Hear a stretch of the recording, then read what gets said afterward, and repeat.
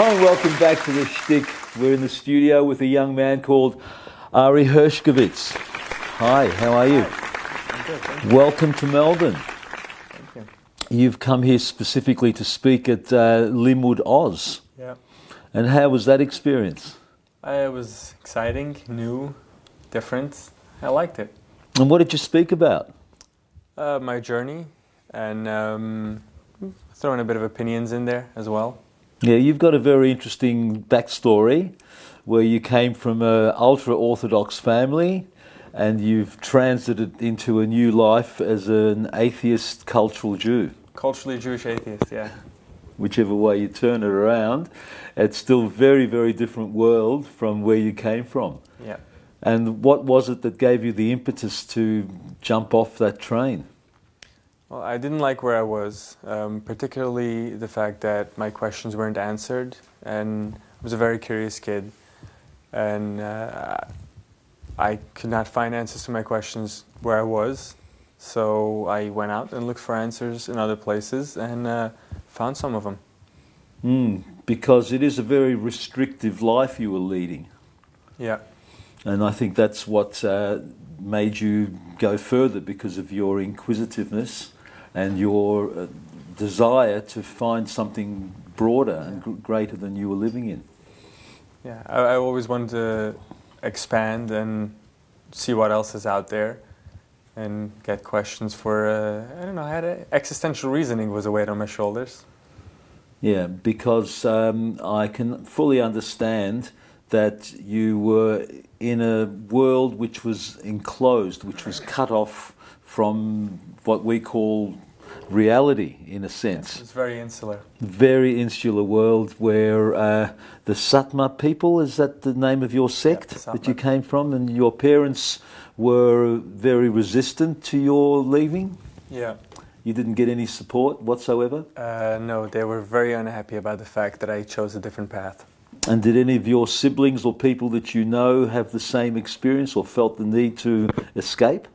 Uh, no one in my immediate family, no. No. So, in general, what I can see is that uh, the children follow the derech, the way. Right. Yeah, and you went off the derech. Yeah. Uh, can you explain the off the derech concept? Well, um, d- I don't know exactly the origin of where it is. I think it's a shame name that the rabbis gave us, and we adopted it. But the meaning of the word is off the derech. Uh, Derech means path, so Yes. off the path. I'm not very fond of the name. I mean, it's technically accurate. I'm off the path that I was supposed to be on, but saying off the derech implies that I'm like off the right path. Well, they consider it to be the right path Right. because they're very righteous people. Um, So they think, yes. Yeah, being ultra orthodox is is a way of life which is incredibly uh, like straight. Yeah. Yeah, and you've now made the big move. How long is it since you've been like this? Uh, it's a bit under three years uh, since I came out as not religious. Hmm.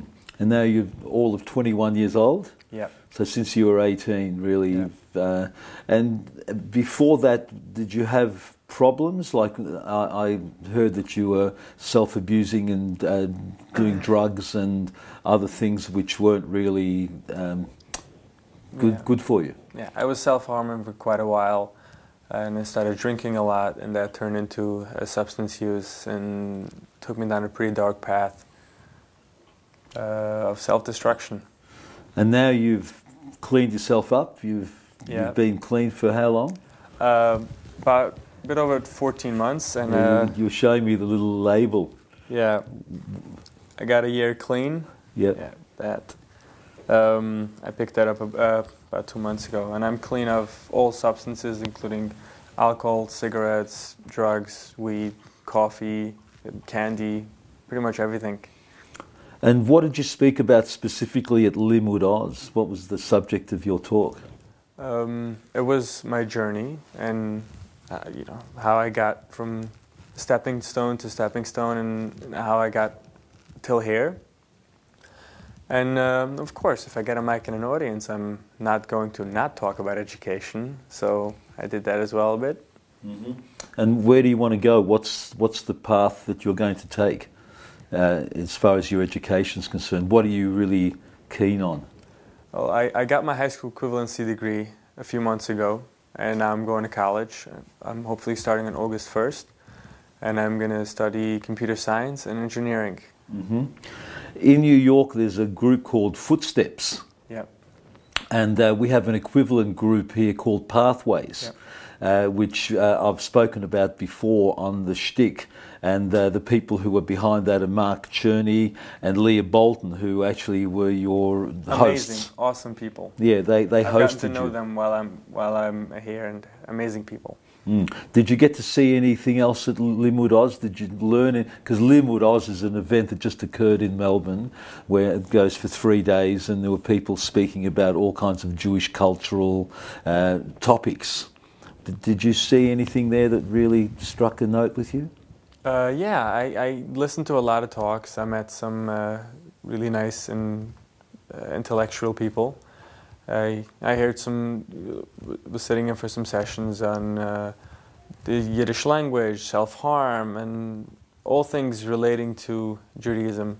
And you were brought up speaking Yiddish? Uh, yes, Yiddish was uh, it's my mother tongue and the Mm. only language I knew for quite a few years. Yeah, I had the same problem. I was brought up with Yiddish, and uh, it's still there, but it brings a cultural aspect to your life that you can never get rid of. But Yeah. on the religious side, we weren't religious, so but you, you had the Yiddish coming through the religion. I probably had more of a Heimish Yiddish versus you had more of an authentic Yiddish. No, no, we had a Hamish Yiddish, totally Hamish. Um, and also, the other thing that was really interesting about your journey is that you had no contact, you had no idea of who the Beatles were or a- anything about anything that was culturally uh, so well known in, in our society. Yeah, I did learn about the Beatles just a few days ago. exactly. Yeah. well, they've, they've been around for a long, long time. Uh, yet you just have just heard about them and other things that you were totally alien from. Like you, you led an alien life, in a sense. Yeah. Yeah. So anyway, well, welcome to the, the, the real world, in a sense. Uh, I just wanted to bring you on because you're only here for an, uh, another few hours. You're heading to Sydney for Lim- Limmud was there. Yeah, for Yom Limmud in Sydney. Yeah. Yeah, that's fantastic. Well, I wish you luck on your journey because it really is a very interesting world we live in, and individuals like you make it even much more interesting. Thank you. And I hope you, your uh, your education and your your um, life will be an inspiration to others who may be also needing to break out and find a, a path to another world that uh, they feel more comfortable in. Yeah, you, you, do you feel you're in a comfort zone? Uh, well, Yeah. personally, I've uh, I've I've come to peace. Not just come to peace, but I've, I'm I'm very happy with where I'm at in life, and uh, I'm very much looking forward to see where I'll end up being. Yeah, well, it's going to be very interesting. Yeah. It's been really great to have you on as a guest. Thank you. And we'll be back next week with more shtick. Uh, we're doing a show uh, from Israel where I was filming a wedding and a little bit of the aftermath in Melbourne. So we look forward to some more shtick with you.